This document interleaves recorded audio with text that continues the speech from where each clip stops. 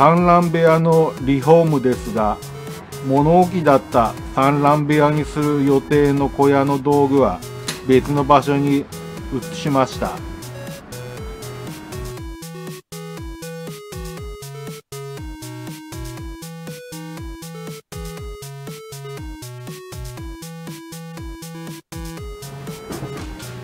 物置をどういう風に産卵部屋にリフォームするか考えています。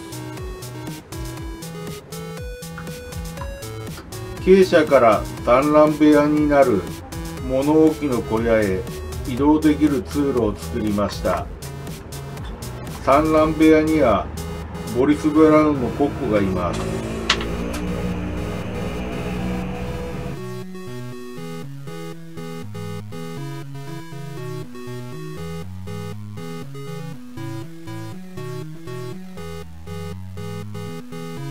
外から物置小屋と鶏舎の間を見るとこんな感じです。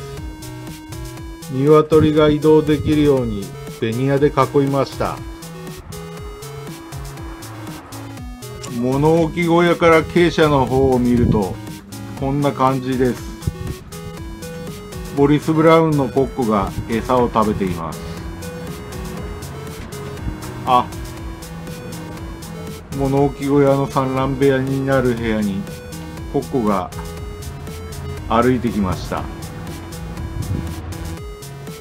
とりあえず物置小屋の屋根が古くなってきているので傾斜と同じ熱線カットタイプの波板に張り替えたいと思います。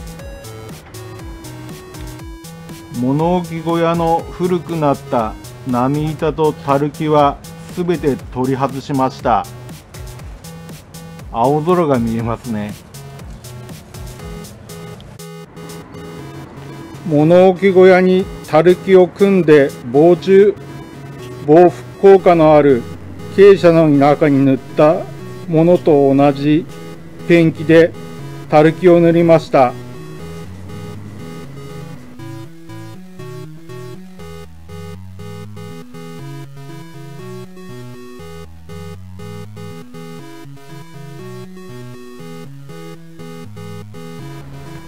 産卵部屋になる物置小屋に熱線カットタイプの波板を張りました。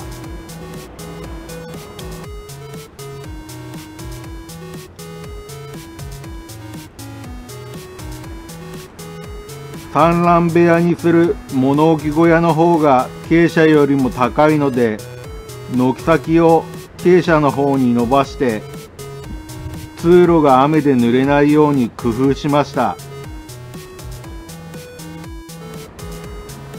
産卵部屋になるこの物置小屋は新しく変えた波板と春木以外はあえてペンキは塗らず古材だけで作ろうと思います。古い古材で作られた産卵箱の方が鶏たちに安心して卵を産んでもらえるような気がするんです。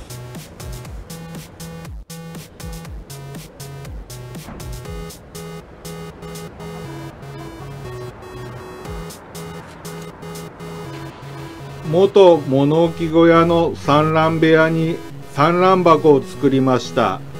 父が蕎麦屋をやっていた時の蕎麦の麻袋を床材代わりに使ってみました。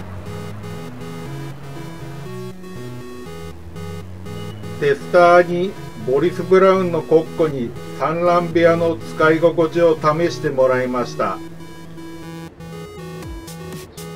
コッコ使い心地はどうですか？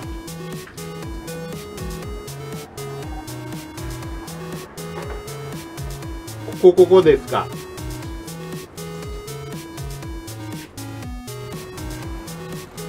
産卵部屋の産卵箱の床材に麻袋を置いてみましたが鶏たちが気に入ってくれるか産卵箱が登りやすいようにスロープをつけるかなど課題はありますがいろいろと考えています。昨晩ボリス・ブラウンのコッコにテスターとして一晩鶏舎に泊まってもらうと鶏舎の隣の産卵部屋の産卵箱で翌朝見事卵を産んでいました。なので鶏たちに産卵箱を使ってもらえるような気がしてきました。